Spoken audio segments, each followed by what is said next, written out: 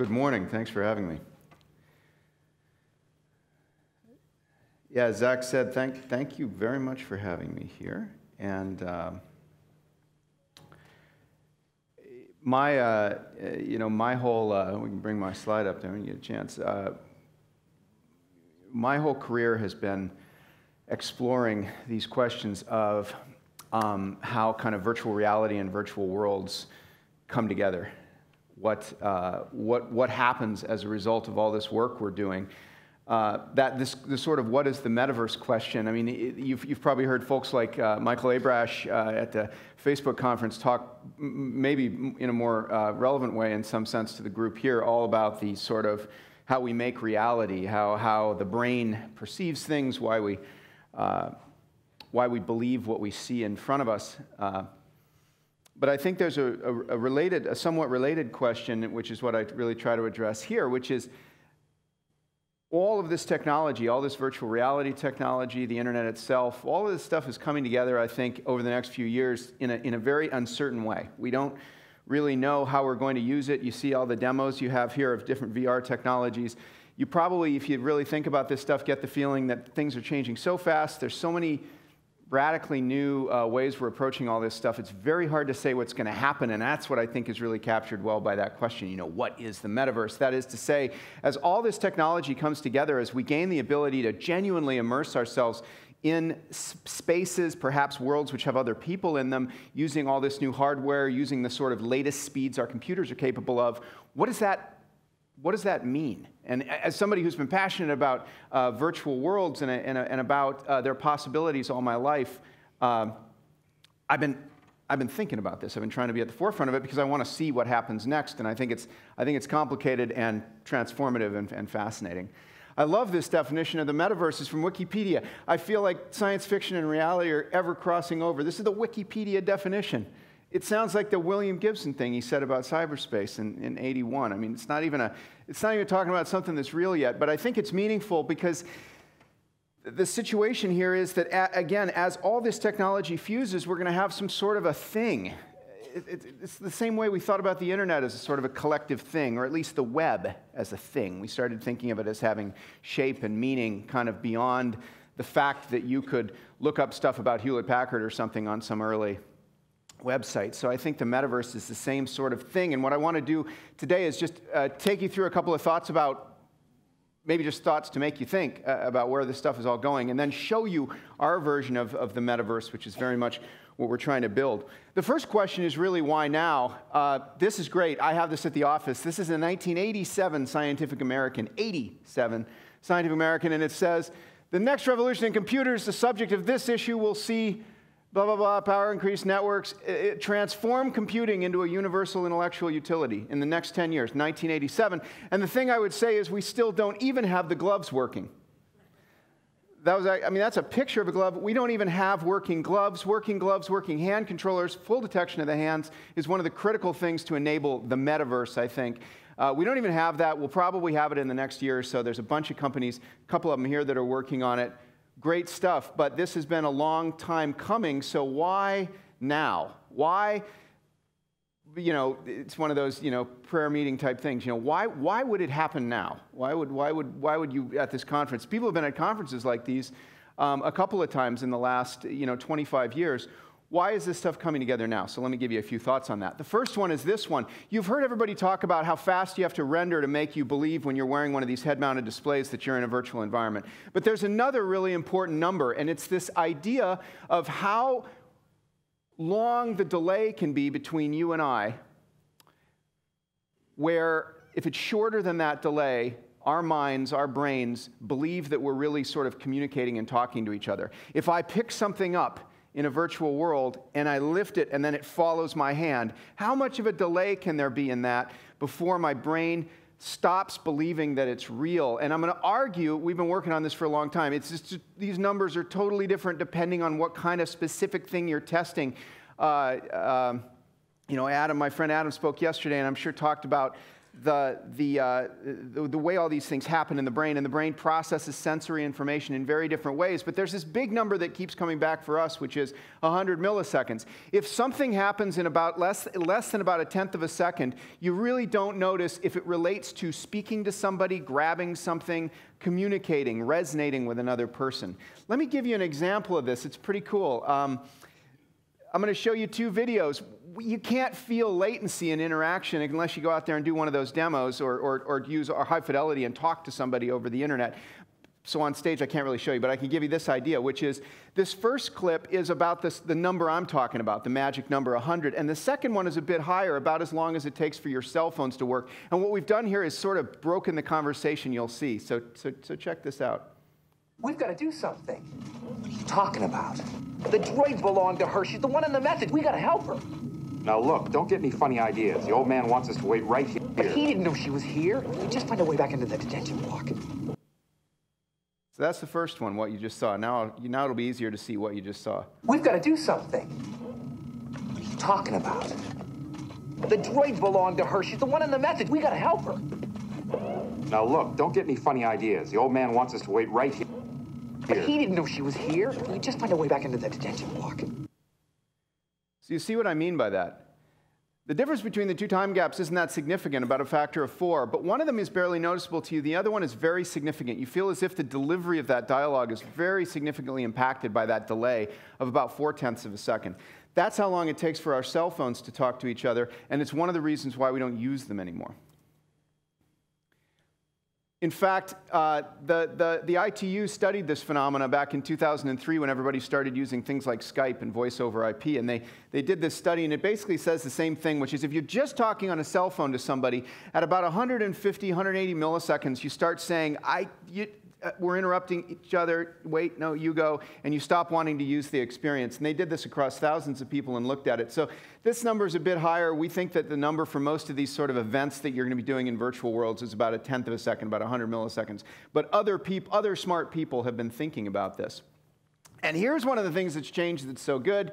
Uh, unlike any other time in history, it now takes about 100 milliseconds to send a packet on the internet to anywhere. And that's because, well, that's basically limited by the speed of light. I always say it's great that the Earth we live on is as small as it is, because if we'd been born on a bigger planet, nothing we would have done would have been able to get that distance down to less than a tenth of a second. But today it takes about 100 milliseconds to send an internet packet from here to, say, Sydney, Australia. And what that means is that just about all of us in the world can, theoretically, if we, if we all do our work right, be connected by a network that fast. So is, as we get into these virtual worlds, we are going to be able to stand, look at, and talk to each other face to face. And that wasn't true a few years ago because our routers took a lot longer to process things, and they're now getting close to the speed of light. Um, more than just for two people talking to each other, it should be understood that we can use the internet to actually do some amazing things as we all come together in these virtual spaces. Say, for example, using it to allow us to send uh, the sound of something like a live music event to an enormous audience like this. If you, use, if you use the internet and you do things right to send that data around, you basically can connect 100,000 people into an experience that could normally only happen in a, in a room, in a very small space. It's about 80 milliseconds to the back of this hall right now. Now, a final note on that sort of 100 milliseconds. There are some things, and we're playing around with pushing these limits at high fidelity as to what we think is going to happen and not happen. Some things won't work at a tenth of a second. Um, a boxing punch is too fast. If I add, say, uh, 50 milliseconds even of latency, boxers would just hit each other. They, they wouldn't be able to get out of the way. Uh, the other one that's interesting is two musicians that are great musicians playing music together, playing in a band together where they're essentially talking to each other with their instruments. We've tested that and it's 15 milliseconds. So the bad news is, you know, the sort of fantasy that you see sometimes in science fiction of like a really good band playing where the band members are in different parts of the world, it's not going to work. So let me talk about the second thing that I think is different this time around that's going to really change things. And it's this.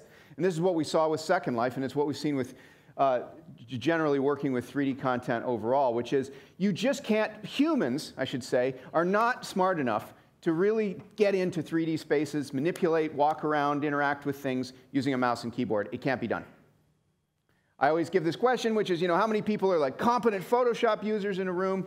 I bet almost all of you can use Photoshop a little bit. How many of you use 3D Studio Max, Maya, Blender, uh, one of the 3D editing programs? This is a loaded room. There's probably a few people, but the difference is immense. For the most part, none of us use 3D editors, and the reason is not because they're not cool or they're or utilitarian, uh, useful for us. It's because we can't do it. This is a picture of my co-founder, Ryan. Look at his fingers on the keyboard as he manipulates something in Second Life, moving his view around. This applies to clicking on things, finding your way down a hallway in the virtual world, um, uh, making something. With a mouse and a keyboard, you have to press the keys together in the mouse, kind of like playing a guitar or a piano. It's very, very difficult to do, and you're only going to learn how to do really complex things in a 3D environment if you are sufficiently motivated to have sort of 30 or 40 hours to learn how to do it, just like any other difficult new skill. Now, that's all going to change because of stuff like this. And that's what we've got out here. And you're trying the Sony Morpheus demo and you're trying the STEM demo out there. Amazing. This is the HTC Vive, some of you have probably heard of. It's an, incredible device that's coming out in the next couple months to developers. Uh, what this device does, of course, is captures not only, not only does it display the world around your head, but it captures the motion of your hands absolutely perfectly. And what this means is that we are, for the first time, going to be able to sort of do the things that we have done sort of experimentally or uh, idealistically before with technology, but that we're limited to only a few, only a small group of people uh, using them. We're going to be able to use these devices. These devices are essentially the, uh, uh, Chris Anderson made a wonderful statement about this. He said that uh, drones, the same technology that was being deployed here, is the sort of side effect of competition in the cell phone industry. It is the collateral of the, of the whole cell phone competition is to have these incredibly fast uh, uh, uh, fast, cheap hardware devices that can do this stuff. But the ability to track ourselves like this is something that is a complete change. Um, on a different topic, one of the things you'll see here, so, so once, once, we've given, once, we've, once we've captured the ability to move our hands, to put ourselves into the virtual world, to actually be there with each other, which is the thing that has amplified uh, communication is what has amplified all human technologies. How will we do it here? Another challenge that you'll see talked about is the sort of the uncanny valley, right? The effect that if we turn ourselves into avatars that are, that are likenesses of us but are not exact, that are not exactly us, there's this funny thing that the closer and closer you get to looking just like you, the more horrifying it becomes. I always say with, with respect to our work at High Fidelity that there's this phenomena called the sort of uh, uncanny mirror, I call it, which is it's even worse when the avatar that you're looking at right on the screen, looking back at you, is essentially a mirror reflection of yourself. Uh, so you're even more demanding uh, with, with, with what a digital thing looks like when it's you. I'm one of the most difficult guys. We can never build me an avatar, so I like it. So this is one of the challenges that we have to face. But again, the technology is, is advancing so rapidly, the sort of Moore's Law curve relative to visual rendering uh, is so steep at this point that it seems very likely that we will get past this problem as well. There's a lot of good work being done on this. If you're going to SIGGRAPH this year, you'll see people showing papers on it. Uh, but another important topic. Another, an, another thing about uh, creating the metaverse is where is it going to live? Where is it actually going to live? Creating virtual worlds involves both servers and clients. It involves machines that are, that are persisting, rooms like these that are, that, are, that are creating these game spaces that people are playing in. Where, do all, where does all the simulation, where does the server side of all this live? And this is something that I think is about to change as well. If you look at the number of machines connected to the internet today that are usable as servers, most of them are in Amazon's EC2 and Rackspace, we estimate there's about 600,000. There's, there's something like a million of these machines that are out there.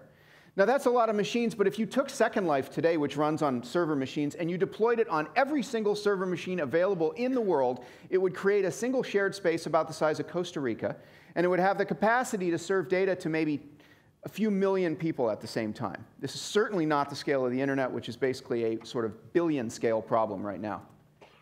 But what if you could use all the machines that were connected to the internet over broadband speeds? There are a thousand times more, or about 600 million of them.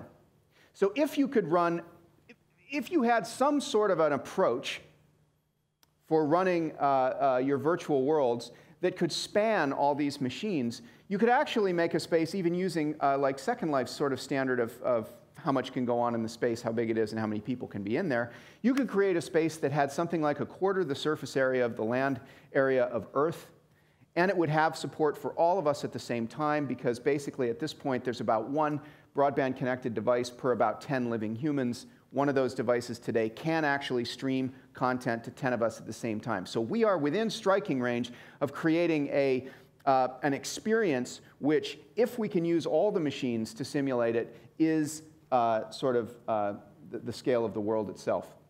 So now a few points. So if we are able to build this low latency infrastructure that connects all of us into some sort of a new virtual space, let's talk about some other properties of it. Well, the first thing is we're all talking about games because games is what are so obviously empowered by the experience. We're building games to help work on our brains. We're taking the games we already have today and we're reimagining them in VR totally awesome. I will play those games too, but I suspect that it won't be all about games. So what will, as we, as we get into the broader sort of metaverse, whatever it becomes, what are the first things that it will be about? Well, this is what I think one of them is. How many people, Ready Player One, this has got to be a Ready Player One room. Pretty good at Ready Player One attendance. Um, the ability to teach inside virtual reality inside a head mounted display with other people in the room with you is something that I believe we have only yet begun to explore, and I think it's going to be absolutely revolutionary. There's an interesting phenomenon at my office where we all have our meetings online. We all meet inside high fidelity. We meet every Friday in our, in our, in our new technology, sit around a table and look at each other. And there's something really interesting that happens which is as soon as one, so we put on a mix of things. I'm going to show you one today, but some of us have the head mounted display and some of us have these cameras like this one that are watching our faces, right?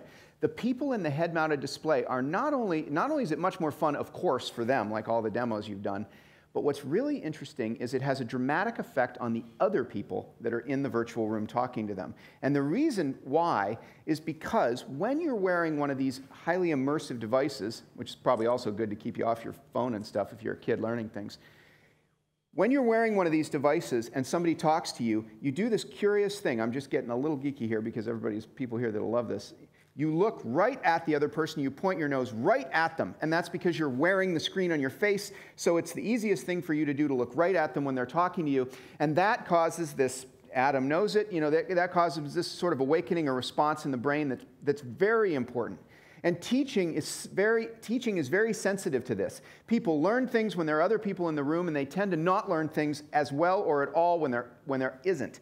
And so putting people in the room and having to put, putting these devices on, I believe, is going to create some very strange new experiences very soon now because as these first generations of devices come out, they are going to work for education. We may still be trying to figure out what the craziest video game we can build is, but if we can just put a bunch of us in the room together, I bet we can learn physics or biology, and that's one of the things we're working on at High Fidelity. Another thing about the more general oh wow of what's going to happen next comes from Second Life and from what's already happened there, where the experience of having a digital identity that is you when you're in a virtual space has some very unusual properties with respect to how it affects our thinking and our, our, our sense of self that I think are, are, are, also going to be very profound as we all jump in. And, they're, and in many ways, they're the opposite of what you might think. When we watch films like WALL-E and stuff, we get this idea that humans are going to stop uh, being unique and are going to stop caring about themselves and are going to be uh, unfit and everything because they're using all these devices. That's really unlikely to be true because what we've already seen is that when you have an avatar, you tend, because of this weird relationship you have with the avatar, the very fact that you can change it so easily, you get drawn into changing it all the time. And that change process ultimately feeds back into your real life. And so there are some wonderful, powerful things that I think may happen in addition to education that are just outside the realm of the sort of gaming and you know, more uh, pedestrian sort of communication stuff we imagine being able to do with this new technology. So I think that's something to really uh, uh, think about as well. So, what else about the metaverse as compared to all these projects we're seeing going on? Well, another thing is that I believe that the metaverse will take off, or some, some version of it will take off fastest if and when it works a lot like the web did. And let me make a couple of points about that. If you go back to the very beginning of the internet, I just found these pictures yesterday, so fun. I hadn't seen them in so long. So America Online, right, and then Netscape at the beginning. What was different? America Online and CompuServe were experiences that did not have hyperlinks between the content. That is to say, they were for the most part a kind of a catalog or a flat collection of experiences, a lot like apps in an app store. The apps in the app store don't uh, uh, aggressively connect to each other, which therefore causes you to use them more. But the internet, when it came out about 94, really, in terms of consumer use, and there's Mosaic, did. It allowed this simple, dumb, ugly idea called the hyperlink. But because there were hyperlinks, everybody that put up a web page started to drive more traffic to everybody else's web pages. And so what happened was is that the total phenomena that was the internet and the web took off explosively and exponentially as compared to everything that came before it, like for example CD-ROMs. People thought CD-ROMs were much more important than the internet. But it wasn't true, and it wasn't true because of hyperlinks. What is the hyperlink in the metaverse? Is it a door that you walk through into somebody else's space? We think maybe. But getting that right and making the fabric of the software such that you can go from one person's experience, from one learning experience into a different learning experience as easily as you can walk through a door or click on a hyperlink is going to be critical. And I, I say it not so much as a you have to do it this way, but just I suspect that whoever does do it this way, they'll enjoy a much more rapid rate of growth. And that's what we saw with the internet itself. The final thing on this sort of like the web is identity. You know, everybody's excited about uh, uh, Facebook acquiring Oculus. There's a real question, and I think it's not answered well yet, as to how does our identity work? On the web, our identity is very much under our control. We sort of start as an anonymous person, and then we, we, we give away a bit more identity by our own choice. We log in when we need to. We say who we are when we need to say who we are. I think there's a similar thing that's just kind of a, I, I've always found it a fascinating topic because I've gotten to watch it so closely with things like Second Life. On the, in the, on the metaverse, you're not going to have your name floating over your head. Because meeting somebody and saying hello, and for example, just socially giving your name is one of the profound, you know, forms of greeting and connection that we enjoy as humans. The metaverse experience being three-dimensional is much, like, is much more likely to be human in this characteristic. And so uh, I think that's another thing that we're going to have to think a lot about. And we're trying to think about this at high fidelity as we build software for uh, the metaverse. And then the final thought, before I give you a quick demo here, see if it works, is uh, what else is amazing about the metaverse is kind of how big is it potentially? We kind of know how big the internet is. We have a feeling for that. You know, it's billions of pages. It's, it's really big. I mean, it's certainly bigger than we can read. But how big is sort of the metaverse in general? Well, there's an interesting way of looking at this, which is to say, how, how much reality can computers really simulate? How fast can a computer be? We know what Moore's law is saying, but how far does Moore's law go? Well, it turns out there's some, there's some pretty good physics around the, way, the upper limit of how fast a single MacBook Pro, two, two, two, pounds of, two pounds or so of aluminum, how fast could it compute things if it was organized to be like some next generation computer that we've not yet discovered? But there's, there's, trust me, there's a, there's a argument in physics that says that it can go no faster than this a MacBook Pro sized computer connected to some network of other computers in the future, and this is a future that's 30 or 40 years away relative to these exponential curves, can do about 10 to the 50th instructions per second. Now, that's a really enormous number, so how big is it? Well, I'll tell you how big it is. It's, it's a big enough number that if you made a simulation of this, of, if you made a simulation of Earth, this one laptop computer, one laptop computer, could simulate what's happening, basically, could think about, could simulate, like we do with VR, a virtual world containing every single person now on the surface of Earth, all 7 billion of us or so, every single atom in our body. Uh, it, it, this, this, this one computer could simulate all of us alive right now on Earth, every atom in our bodies, and have a trillion com computations, a trillion you know, bits of thinking that it can do for each atom in our body each second.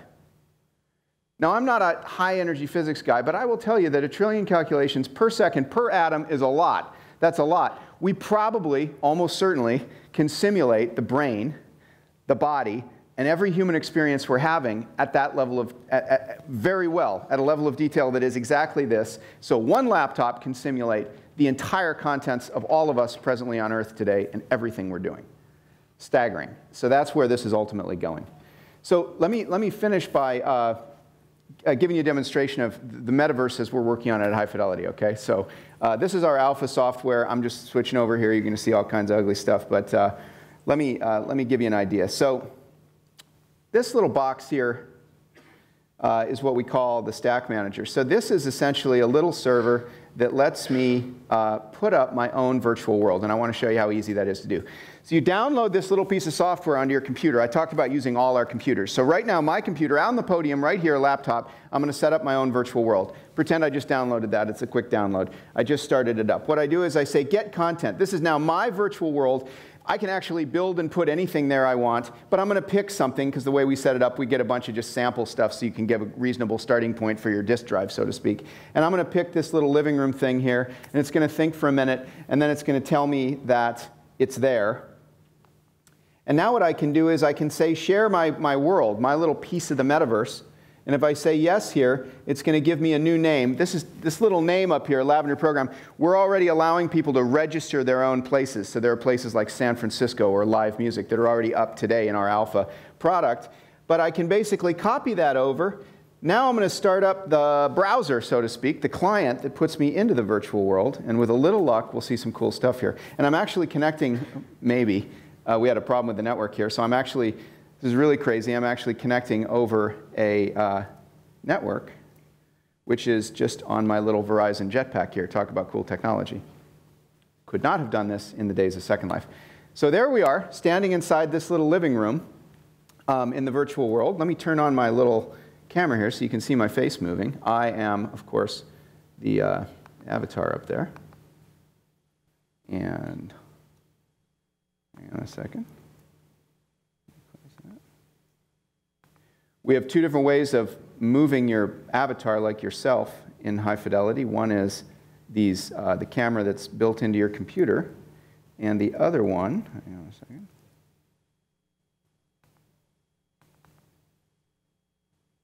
Oh man. While I was standing there, my one of our little parts here, which is the this camera that watches my face has, has sort of stopped working. So I can try and do one other thing here. We also have the op option of using the normal camera. That's pretty cool. So right there, haha, I've ditched the 3D camera.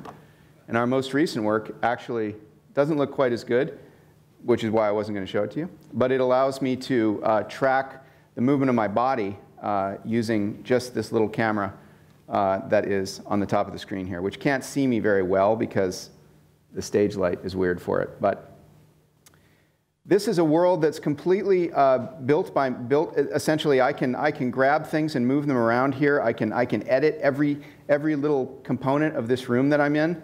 I can throw dice on the table. That's one of the things we're working on. I can grab stuff. Now imagine how how, how cool it's going to be to to be able to have physical objects working that way when I can grab them with those hand controllers I showed you in that earlier slide. And in fact, at our office, you can grab them with those hand controllers. I just didn't bring all that gear up on stage with me here, but basically, this is a real environment where the sounds, the, you know, the, the, the movement of the objects is all uh, real and working and, and running at 60 frames per second, which is very different uh, than an experience like um, uh, like the, you know, the video games that have come before or things like Second Life. A little light I can turn on there for the people that are into lighting. This is a beautiful kind of a look that we're playing with. Like, how many atoms can we put in the digital world? How big are they? Is it photorealistic? Well, it can't quite be photorealistic because we're all in this space together with the computer simulating it, so we have to kind of play around with different options there. To see what it's like to talk to somebody else, I'm now going to bring up what is essentially the address bar of my browser. Uh, uh, never mind the simple graphics, we're just starting on that, but I can jump. I'm going to hit enter and I'm going to jump and, and load up a whole nother virtual space on another server called Polyworld. And we can say hi to somebody who's there. Hello, Ryan. Hey, hey, how's it going? so, Ryan? Yes. Tell us about your avatar. Who is this guy? How'd you make well, it? Well, this is a guy that I made uh, using a program called Fuse. It's uh, Fuse is made by Mixamo, some friends of ours. Um, really cool piece of software that allows you to uh, create all sorts of avatars. So I, I made this guy in Fuse, and then I exported him and had him rigged on their site, and then imported him into our software, which automatically did all this mapping so that you can see all my facial expressions. so I can make all sorts of weird faces. Ryan is being Ryan's being tracked by the same camera that I just, I, that just failed to work for me. So that gives you a feeling. There's kind of different levels of this. He's using the, the sort of very best, which is a 3D depth camera. But what you're seeing there is that the sound of his voice and the movement of his face is carrying over. We can't tell if he's lying to us. You know, things like the sort of false smile, the slight deformation of the upper parts of the cheeks. We can't quite see that yet. Ryan can probably deceive us more easily than in reality. Um, when there's two or three or 10 people standing around like this, it's just a shockingly cool experience to be able to finally look into somebody's eyes. If you're wearing the HMD, to lean around and look at them and listen to what they're saying.